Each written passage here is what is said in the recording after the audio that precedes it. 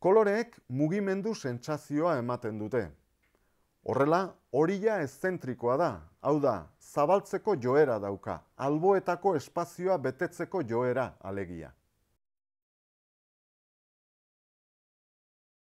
Gorria, geldirik dagoela ematen du. Oreka sentsazioa transmititzen du.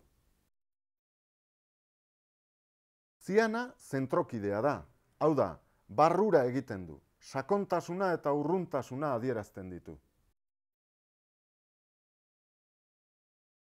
Jarraian ikusiko ditugun irudietan, horiak beti aurrera eta kolore ilunek atzera egiten dutela ikusiko dugu.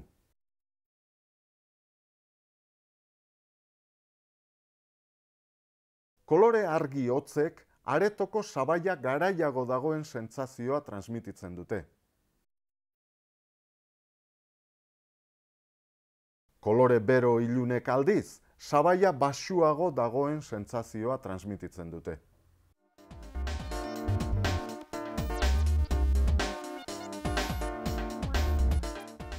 Koloreen mailaketa dinamikoan, laranja da hurbiltze sentsazioa garbien transmititzen duena. Urrengoa gorria litzateke, urrengoa horia, urrengoa berdea eta azkena ziana. Perspektiba kromatikoaren sentsazioa sortzeko, hau da, koloreak erabiliz perspektiba sentsazioa sortzeko, naita ez koloreak alderatu egin behar dira. Indar bereko tonuak lortu behar dira. Horretarako, kolore garbien gama osoari gris jakin bat erantziko diogu. Horrela, nahi beste mailaketa egin dezakegu.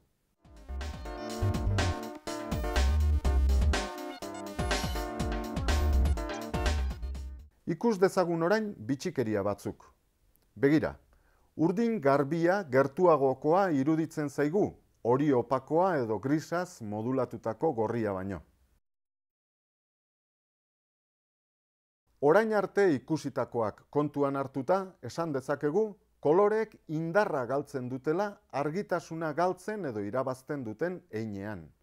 Hau da, zuriaz, beltzaz, zein grisaz nahazten direnean, indarra galtzen dute. Ziana eta berde asea kolore hotzak izan arren, ilundutako horia edota gorria baino gertuagokoak iruditzen zaizkigu.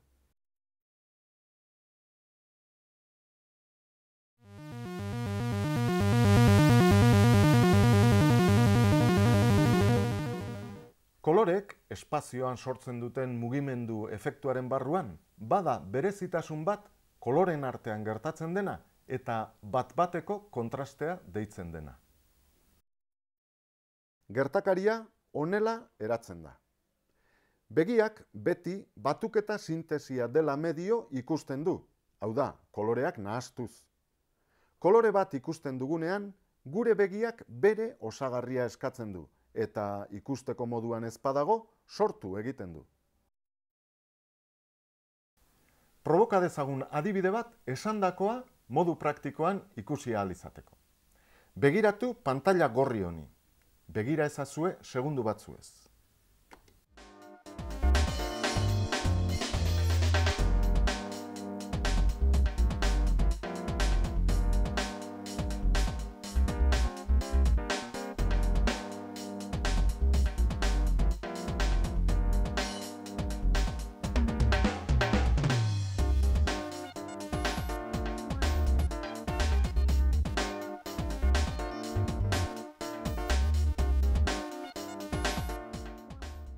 Aski da.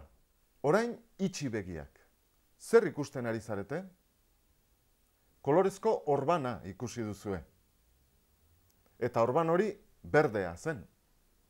Hau da, gorriaren osagarria. Egin dezagun orain lehengoa, baina pantalla hori bati begira. Begiratu harretaz.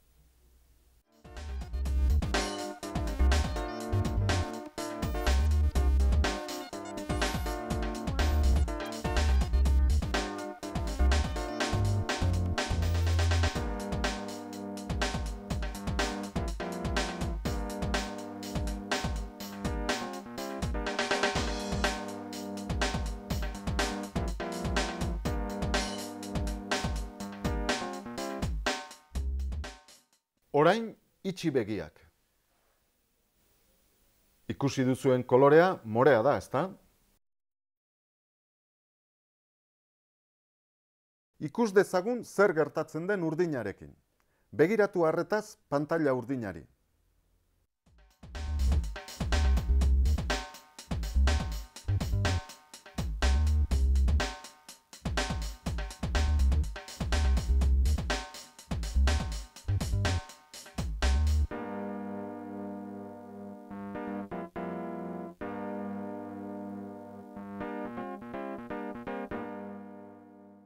Aski da, orain itxi begiak. Ikusi duzuen kolorea laranja da, ezta?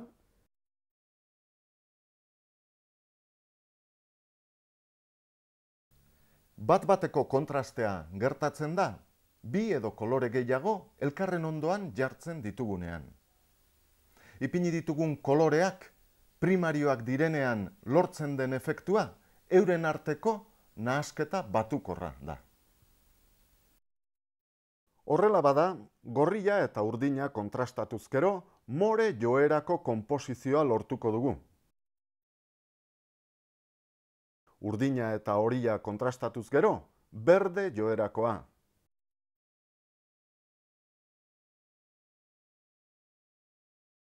Horia eta gorria kontrastatuz gero, laranja joerakoa.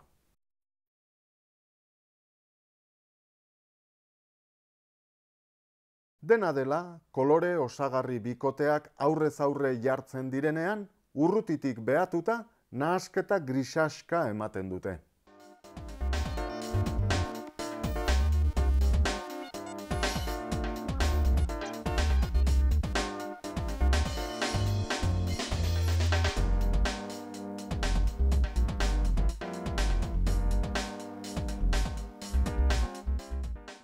Kolore sekundarioak kontrastatzen direnean argitu egiten direla ematen du.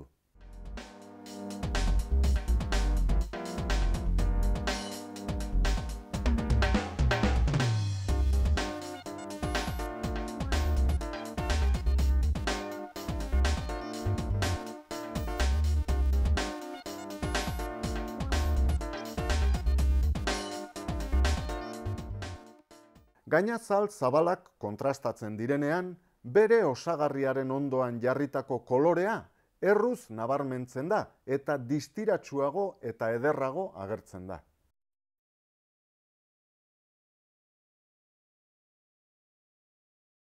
Marko beltzaren barruan koloreak nabarmendu egiten dira eta distiratsuagoak eta deigarriagoak agertzen.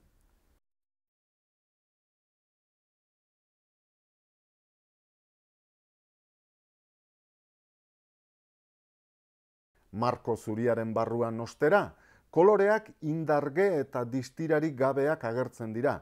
Zuriak sakabanatu egiten baitu kolorea.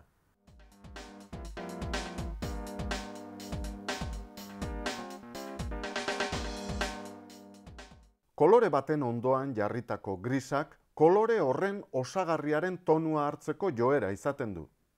Horrela, horiaren ondoan dagoen grisak tonu morea hartzeko joera izaten du. Urdinaren ondoan tonu gorriska nabarituko zaio. Eta gorriaren ondoan tonu urdinska.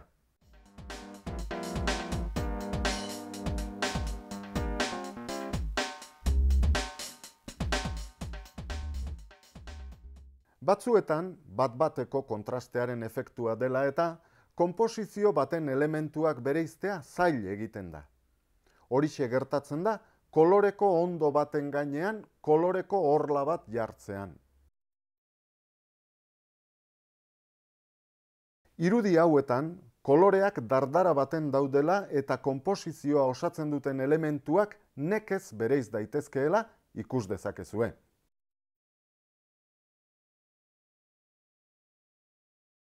Horla beltza egingo bagenu, konposizioa hobetu egingo genuke zalantzari gabe. Eta horla hori kolorearen negatiboaz egingo bagenu, emaitzarik onena lortuko genuke.